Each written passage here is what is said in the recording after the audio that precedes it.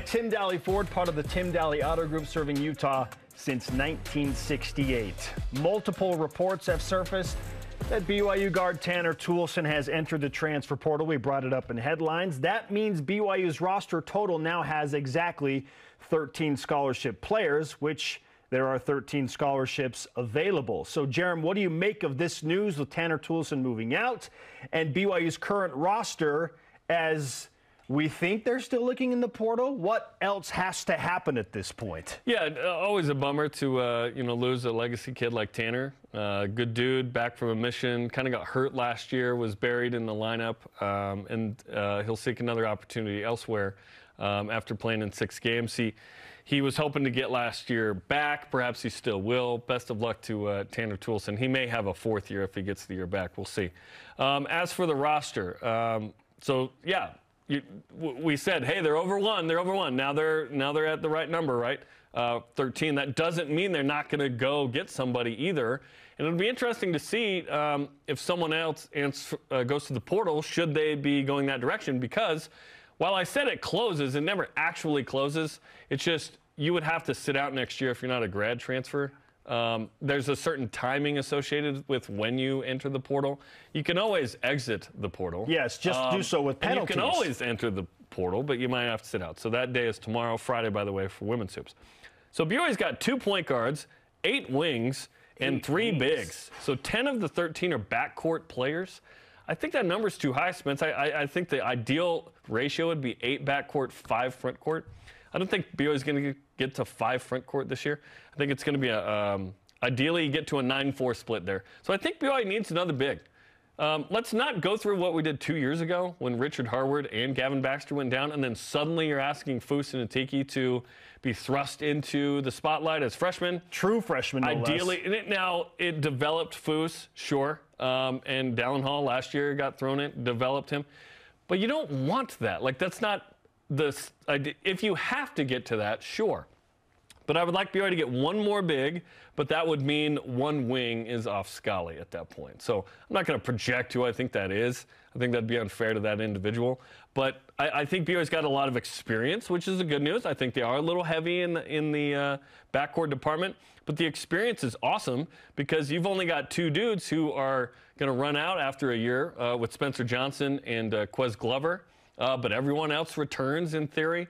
Um, you only have a couple of freshmen and sophomores. You have four newcomers, as we mentioned, Ques Glover, Dawson Baker, uh, Aly Khalifa, and then Jake Wallin's back from a mission to Lithuania. So it, it's a group that is improved. This is a better talent roster than last year. Um, by how much, I'm not sure, but I like the experience. I like the talent. I like the diversity of skill. Yeah. I love what uh, Khalifa brings in terms of, in terms of a big who can pass and shoot. I like Glover as kind of a pure point. Um, I like Dawson Baker's ability late in the shot clock, like we've talked about. So I love the uh, I love the group BYU's got. I still think there's probably one more piece needed, similar to these three that BYU's brought in, before we can more comfortably go into the like. Okay, they, are really going to challenge for a um, a spot in the NCAA tournament. Because listen, it's hard to make the tourney. It really is. And then of course in the Big 12, the pros and cons are the challenge. The, the schedule is so tough that it's hard to win as many games as maybe we're used to, yes. but you have a strength of schedule that the committee will respect uh, in a way where if you can be uh, perhaps the seventh or eighth best team in the Big 12, you've got a, a, a really good shot of being in the hunt at the end, which is what we're hoping for.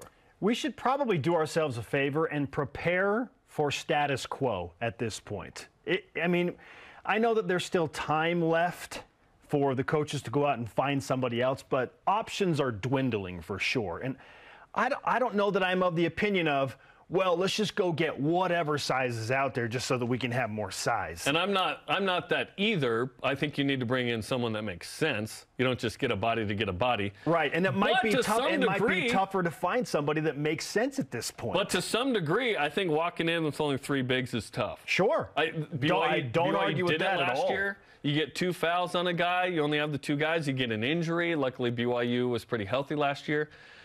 Listen, I, I do think BYU needs another big. BYU may have to ask Noah Waterman when bigs get in foul trouble to come in with his size and play a different role. and be a little bit more physical and maybe try and bulk up and do something different if they cannot find somebody. Offensively, I don't agree with that, but defensively, sure. Yeah. yeah. And that's what I'm saying. Yeah. Defensive minded approach here. Right. They, they may be forced into a scenario where it's like, look, you're 6'11. We need you to go in there and, and be physical. And we're in foul trouble. AK, you need to rebound and defend. And if you stretch the floor with the three, great. Awesome, because that's what you do enough. Yes. Yeah. But we, we should probably prepare for the worst, which I think is the status quo as far as the front court goes. If BYU doesn't find somebody else, then all right, here we are. This is what BYU the, is going the into. The worst would be someone jumps in the portal tonight we didn't expect. that would be the worst, right? Like a Cody Epps, but he doesn't come back kind of deal. Um, yeah, I feel very comfortable with this roster. I'm pleased. I'm excited. Um, I'm looking forward to it. I, I, just think to really go into I get it. the more, Big more 12, big man depth. I would just like Foose to have a backup at the I'm four. with you. I think BYU has two fives, obviously, and Khalifa and Atiki. I love Atiki as the backup, a guy who's still getting experience, kind of newer to basketball, like seventh or eighth year playing. Um, him as the backup can defend, can rebound. There's some games where he gets uh, rebounds off the glass and he's laying it in, which is awesome. But yeah, one more piece there just in case you have an injury. So I'm with you. Like I feel like BYU needs a big man, but again, we're getting down to the 11th hour here in terms of just available players that are good sure. and make sense rather than just going and getting some size and hoping it works out and then you're taking a scholarship away potentially from somebody else. If there's a walk-on who's good enough as the backup four to have a physical presence there, that would work too. Sure. I'm, I'm yeah, I'm I'm not going to be that picky. But I don't want to have what we had two years ago, which was, oh shoot, injuries, and now two injuries, forced now, into a tough scenario. Yes, and then that tough scenario does not include the likes of Pacific and Pepperdine and so on. It is Kansas State, Baylor, Houston, and so on. And well, so and if, if BYU goes and gets another big, now we're talking about taking somebody else's scholarship away. And I'm hoping, we've seen in the past some incredible athletes say, okay, I'll give up my scholarship this year and figure it out if you can promise me that I'll get it back again. I don't know that there are any promises that can be made. And BYU is going into the Big 12, so how they offer scholarships has changed. Yeah, you now. committed the entirety of their it, eligibility. This is this is tough. You can always say, "Listen, we don't have a spot for you. You can just stay in school, but you won't be on. You'll be on Scully, but you won't be playing basketball." There's that team. as well. You're essentially cut. There's that as well. Name, yeah. image, likeness, money. It's an uncomfortable conversation, but as much as we want to act like um, this is, you know, it's a business. Like this is a team. They're out there to win. Of course, they want to do everybody as well as they can. But if they don't see a spot for a guy, they they're doing them a service by saying, "Listen, unfortunately, we're going to cut you, and if you want to enter the portal, that's up to you." You know, that that happened. Okay, topic two. Bracketologist Joe Lunardi has BYU on the bubble three of the last four weeks as the eighth team out, kind of the last team mentioned. Are you buying BYU as a bubble team at this point? Yes, because BYU is playing in the Big 12. Their net ranking. The Big 12 has thrust them into that. Yes. Yeah. Their net ranking is going to be so significantly improved. If you couple that with just a few big time wins, which BYU will do, that's going to happen because Big 12 teams in large part, have never played in the Marriott Center. They don't know exactly what they're walking yeah. into. They played at Kansas, like a big time environment and a bunch, right? But BYU's Marriott Center's Marriott a different Center beast. is fun and unique. It's a different beast. Yep. Nineteen thousand's a little more. New eye lines. You got to get new.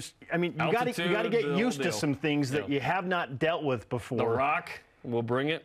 And uh, while BYU will not be favored on paper, they just they're going to win a couple of these games. I mean, heck, this year BYU probably should have at least won one of the games against Gonzaga and St. Mary's with a team that didn't go to the NIT. We yeah. feel like BYU's better. Those type of quality teams are going to come into the Marriott Center for the first time in large part, and BYU is going to teach some hard lessons to these teams. BYU is also going to go on the road a lot and learn some very hard lessons. Sure. But their net ranking will be so improved because of conference affiliation that if you're 17 and 14 going into the Big 12 tournament, and you win a game and you're 18 and 14, then you lose, you finish 18 and 15 having played two games in Kansas City, and you think, man, you're only three games over 500. Doesn't matter. You're playing in the top conference in America. Let's say you're the eighth place and it team. still will be with the four that come in because Houston adds a ton. You say that you're the eighth place team. Okay, remember the Big 12 only had 10 teams last year. Now you got 14. So if you're eighth or ninth in a bigger expanded conference, greater opportunity for perhaps maybe to go and get another team into the tournament compared to just the seven that they had this year out of 10.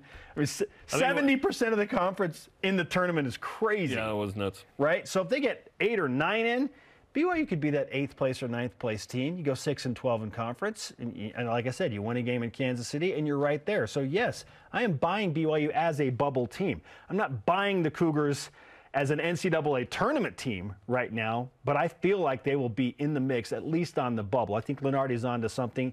Just on how the, the game is set up. It's fun to see it in May. I don't care about bracketology in May. Um, I start to care once we kind of get into the season, then it's kind of in flux, and even then it's early, right?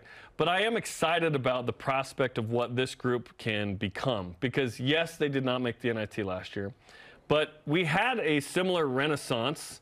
Um, in 18 19 with the team that didn't make the NIT. And the next year, they were going to be a six seed before COVID hit and it was development internally of the existing players. It was the addition of some portal pieces, uh, no, notably Jake Toolson. It was people who felt like they had something to prove. And I think BYU has a team that is hungry and feel, uh, feels like it has something to sure. prove. And for the first time in BYU history, is not going to fight the we have to win this game no, on the road. We're always don't. supposed to win it. There may not be a game that BYU is favored in on the road in league. Like all of the wins will be beneficial every single time. There were detrimental wins in the past sometime yes. where BYU didn't win by enough maybe on the road. You know what I mean? To the committee at, against a bad team in, say, the WCC. BYU will never have that kind of loss again.